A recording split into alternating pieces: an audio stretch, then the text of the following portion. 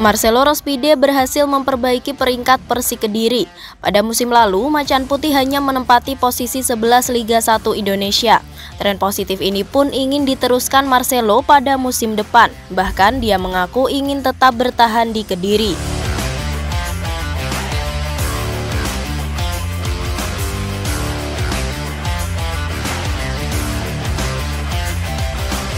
Pelatih asal Brasil itu mengaku senang berada di Kediri. Terhadap para pemain, dia selalu menganggapnya sebagai anak sendiri. Terlebih lagi, dia harus menjalankan hubungan jarak jauh dengan keluarganya termasuk anak-anak kandungnya.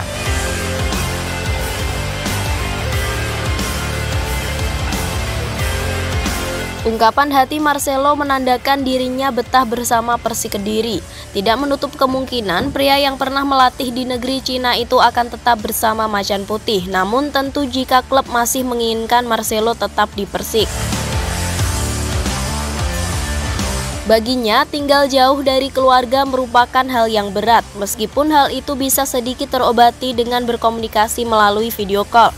Dia sendiri mengaku sangat dekat dengan keluarganya, sehingga meski sudah berkomunikasi setiap hari, dia tetap merasakan perbedaan karena hubungan jarak jauh tersebut.